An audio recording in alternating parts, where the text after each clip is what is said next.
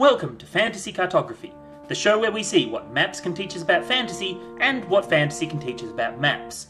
On today's episode, I'm going to try and explain why European derived culture is the world leader today, but using actual science instead of racism.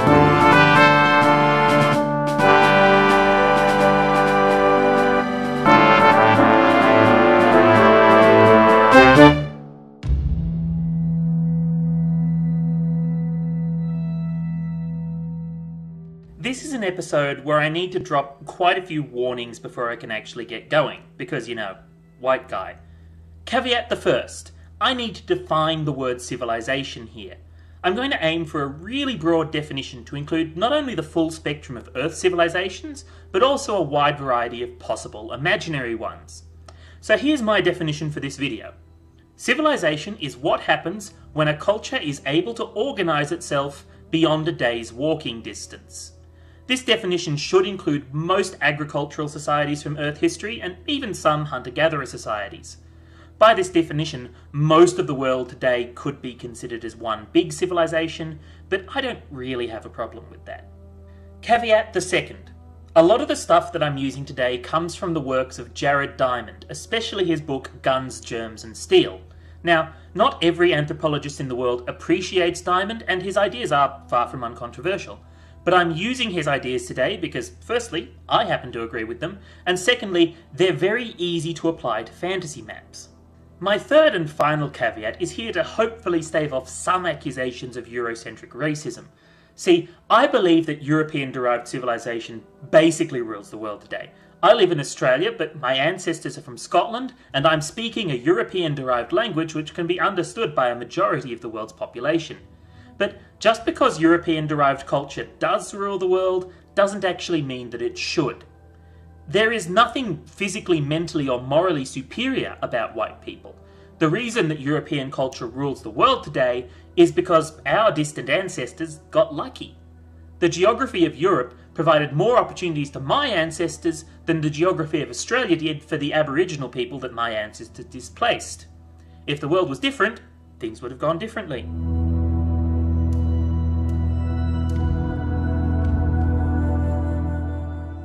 So, with those caveats out of the way, we can actually talk about the way that civilizations grow and spread.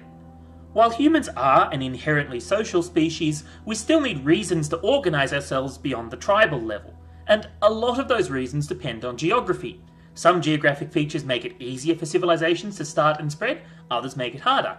There are three loose rules that we can use to break this down. The first rule is that civilizations need food. One of the biggest things that brings humans together into organised communities is the need for a consistent food supply. In most cases, this means agriculture, but agriculture is dependent on the available local plants and animals and how susceptible they are to domestication.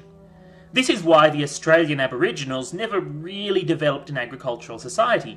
There aren't many native grain plants in Australia, and the native mammals are almost all marsupials, which are slow to breed and mature and thus aren't great for domestication.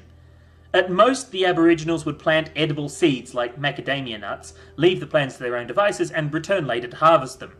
So while the Aboriginal societies did have enough organisation to be called a civilization under my earlier definition, they never really had enough of a stable food supply to move beyond Stone Age technology.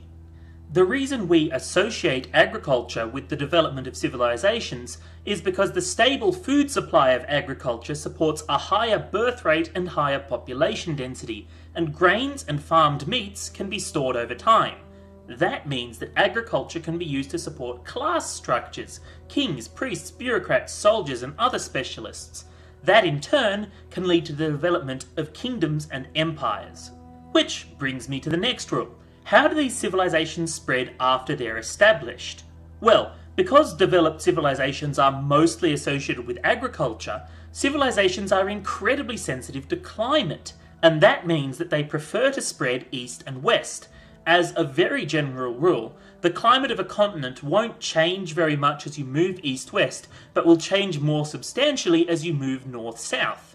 That's probably the biggest factor that gave Eurasia a huge advantage in terms of agricultural development.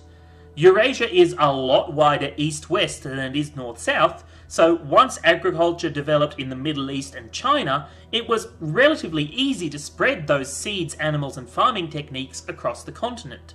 By contrast, it took a long time for the Mississippian civilization of eastern North America to domesticate the crops that we today think of as American. A lot of their staples, like maize and potatoes, originated further south and had to adapt to more temperate climates. The Mississippians would probably have loved having llamas for meat and burden, but to get the llamas there, you'd have to walk them across the deserts of Texas. Because of climatic variation, the east west axis of Europe meant that it was much easier for the farmers of the Middle East to drive cows across Europe than it was to drive llamas across the north south axis of America. The third rule of civilization jumps us ahead a little bit, to the point where civilizations are sufficiently organized to be called kingdoms or empires. They have a large sedentary population, and their main defining feature is technological development. The third rule, then, is that technological development is mostly driven by competition. There's a general and slightly racist perception in Western society that Europe went through continuous technological development while Eastern Asia had more of a stepped progression, alternating between development and stagnation. And while that's often used to justify anti Asian views, there is a vague grain of truth to it, and once again, it comes down to a contrast in geography. A lot of East Asia consists of large flat areas of land interspersed with slow rivers and calm oceans for easy transport. That means that it was fairly easy to establish unified kingdoms like China, Japan, and Korea, Depending on where you count it from, China has existed as a relatively stable political entity for three or four thousand years. Technologically speaking, that meant that there was little need to develop new wartime technologies. Peaceful technologies like writing and the magnetic compass spread quickly throughout East Asia, but things like gunpowder went through more of a boom bust cycle. Europe, on the other hand, is geographically fractured by mountains and unsteady rivers and inland seas, meaning that the history of Europe has a lot more by the way of wars between small kingdoms. And those wars led to aggressive pushes to develop better weapons. The Chinese invented gunpowder, but it was Europeans who ran with it and built guns as we understand them today. Most pre industrial revolution technological developments that we enjoy today were a side benefit of squabbles between European kingdoms.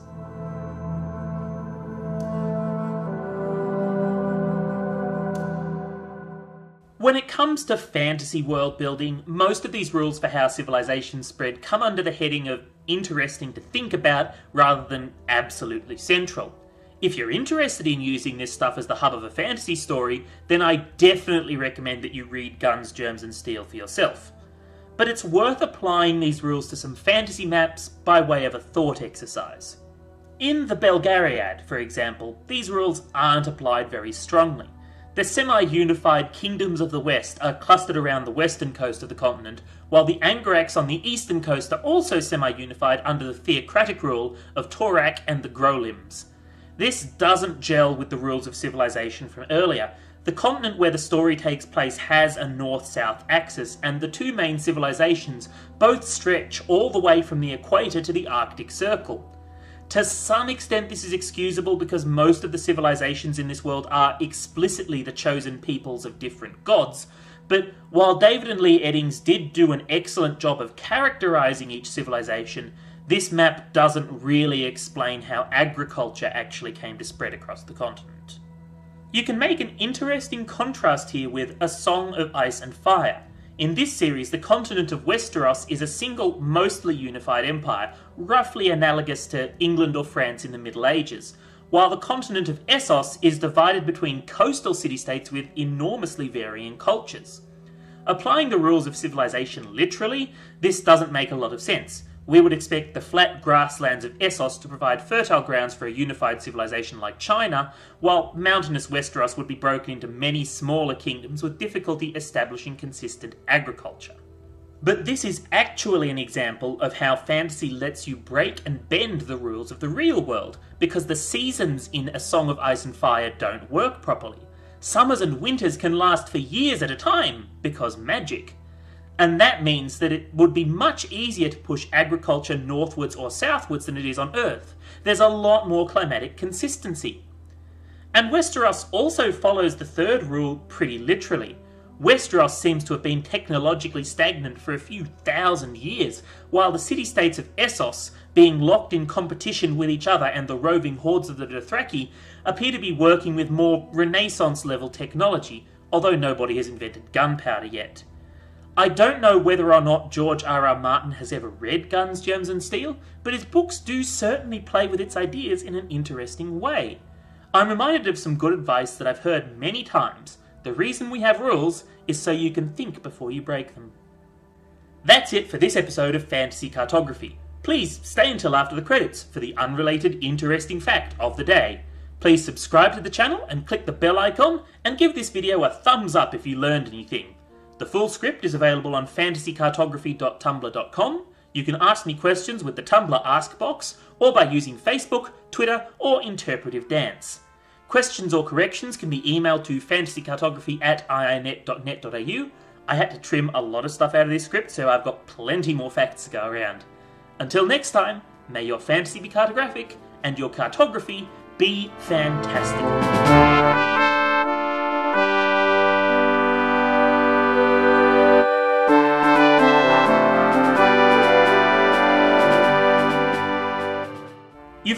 Heard the adjective Bohemian before, but have you ever actually heard of the Kingdom of Bohemia? It was a small kingdom in Eastern Europe, today part of the Czech Republic. The fall of Bohemia is very interesting. King George of Poděbrady, whose rule began in 1458, spent most of his life pushing for a unified peace treaty between all the Catholic powers of Europe, which would include a common parliament. Unfortunately for George, the papacy condemned his treaty as heretical and excommunicated him. After George's death in 1471, most of his lands were snapped up by various Habsburgs, and Bohemia basically ceased to exist as an independent country. It is pretty interesting to think how history would have gone differently if an explicitly Catholic European Union had existed since the 15th century, though. But